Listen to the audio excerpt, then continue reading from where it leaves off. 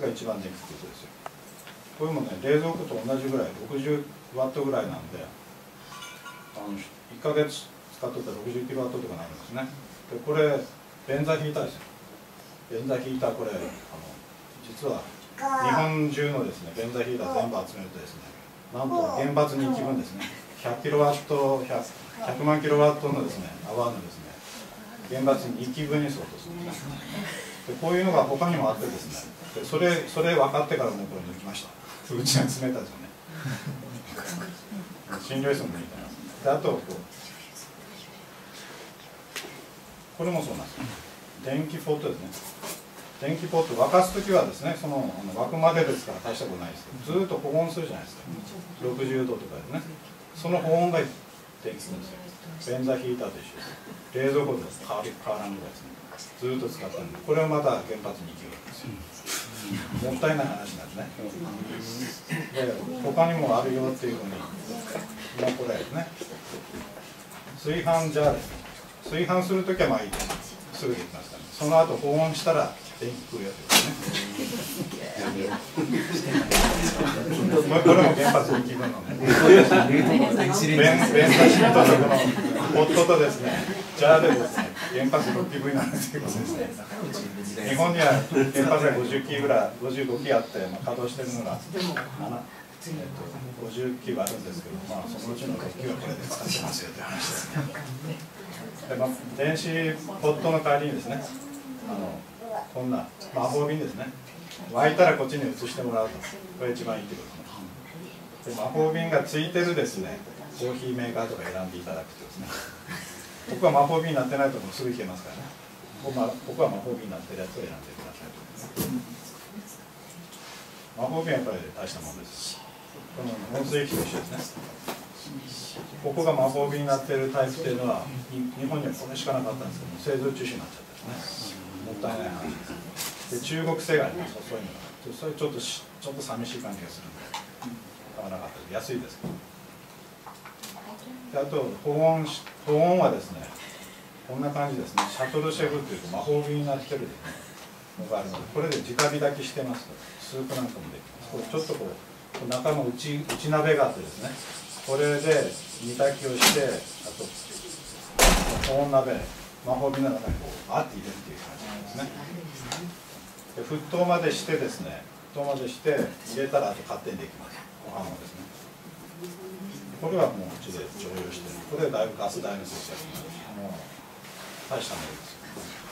あとはもう LED ですねこういうのをつけてますがちょっとつけましょう、うん、LED はあのまっすぐしかこう光が落ちてきませんから、はっきり言って暗いです手元だけ見るっていう意味しかないですね全体照明には向かうんです全体照明させるとねやっぱり傾向と全然変わりません商品の見て手元だけこうやって見るよっていうつもりだったらやっぱ半分になります商品で熱にも弱いし熱がこもれないところすると切れますので、だから使い方がちょっと難しいというのはありますあとこうこまごまとか石アダプターの類ですねあの一つあたり昔のやつはですね1ワット2ワット3ワット結構いっぱい使ってたんですよ最近のはあんまり使わないんですけど1ワット未満ですけどいっぱいあったら何十ワットかったりします。こまめにですね。やっぱり切ると違うみたいなね。せこい話になりますけどね AC アダプターの限りですね。であとはやっぱりあの電気でですね一番こうありがたいというものはですねこれなんですね。昔江戸時代電気のない明治唐津は明治38年電気が来たらしいんですけどそれまでおばあちゃんはですね私のおばあちゃんはですね子供の頃ですね石油ランプのホヤを磨くのがですね仕事だったんです。大変もう面倒くさい仕事だったんですね。でこういうろうそくランプとかですね何がいかんかというとですね本が読めないとですね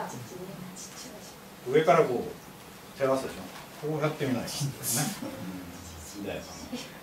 これ自体が自己影というかこれが影になってしまう皿とかですねそういうのに光が当たって下まで届かないのでろうそくあんどんとかですねそういうのはそういう時代って本当に夜中にですね本なんか見れなかったですよ。昔の本はですね字がでかいでしょ。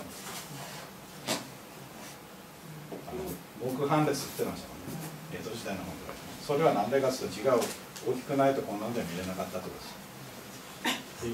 まあ、ありがたいなこれですね。これ LED 電球ですけど普通の電球でも一緒ですけど。下に来ますから本が自由に読めるので文庫本でも夜中読めますよっていうこれがあの非常にですねその小さいのそうですか？だからこれそうですね。LED なんか最近いっぱい言ってるけどこれもあれこれありますよ。一番このシャープのですね、えー、4.1ワットはダメです。ボルトアンペアが一緒なんです。これの6.5ワットかなんかいう8ワットか7.5ワット。それはボルトアンペアも同じなので効率はいいです。これは同じボルトアンペアなんだけど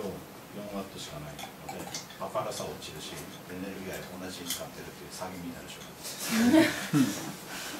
なんでそういうふうに2種類出してるんですか？明るいのと暗いのと。それだけのことなかなと思うんですよよくわかりますか？かりす。ぎる人もったいない話ですね。まあ、これこれだけは、まあ、夜中の明かりはですねいくら電気がなくなっても確保したいなと思ってやってるんですけど、まあ、うちはですね電気を売ってません。自分で全部貯めてですねバッテリーに貯めて使ってるので、まあ、そこでも今日コンサートしていただくんですけどそれでやってます。これ基本的にはこんな構造になってここがですね太陽電池なんですね。で太陽電池からですねこう分電盤を通してですねでこれバッテリーにですねこれこれをそのまま直結っていうのはですね普通はできないんですよ。だからこれ充電するためのですねコントローラーっていうの間に挟まるんですけどそれを通してバッテリーに貯めますよ。でバッテリーを貯めたらですねインバーターといってですねバッテリーって直流なので普通のこんこんなの使うこんなのというか、まあ、普通の今までの電気製品使おうと思ったら交流100ボルトっていうのを直さない感じですね。その機械がこれです。こんなの入ってるんです。であとこれをですね通常の家庭の分電盤とですね、牛電から買う方と自分で発電した方にするかで切り替えスイッチを入れるんですね。でこれを今それですこれそれを使ってます。小さなやつも基本的には全く同じ構造なので太陽電池と充電コントローラーとバッテリーがあれば、まあ、一応できるよと。これがあの平成18年にちょっと試しに買ってうちの一番チビなんですよ。5年前なんでこのチビで1枚こうオークションで売ってたんで5万か6万しました。けど1枚買いました。で 1, 1ちゃんでいろいろこう調べてみるとですねバッテリーもいるしこの充電コントローラーもいるしこれは直流から交流に直すですね。インバーターですね。これ3点セット4点セットです。これは最低限必要なっていうですね。で1枚でどんくらいできるのかなってやってみたんですけど全然できないです。びっくりするぐらいこれ、こんなもんつけるだけノートパソコンもですね1時間ぐらいしか使えないそんな感じねこれももう。3時間4時間まあそのくらいは使えますまあ、そのくらいでプラス向きには1枚でも十分田中さんだと思います一応それより以下でしょこれは同じです、ね、おまけにそれないです分電コントローラー。ついてるんですかねこれですか、うん、これ自作のがついてます これが、ね、でこれ次の次はですね今1枚だけだと全然足りないっていうんで8枚買いました。その上にですね8枚並べてみます。8枚するとですねどのくらい使えるかというとですね冷蔵庫が1台使えるか使えないか曇りが2日目だったらもう消さないです。曇り雨が1日までだったらギリ。そんな感じですそれ以上つけるとですねあのバッテリーが上がってしまうあと壊れます。だからそんなもんですね鉢巻きですね。だから冷蔵庫ずっとつけっぱなしにするのがいかに電気食うかってですね。冷蔵庫ないと今の生活成り立たんですけど冷蔵庫ない時代と知ってる方いらっしゃると思うんですけど。私も知ってるんですけど。それはそれなりにですね買ってきたらすぐ食べるみたいなそういう生活ですね。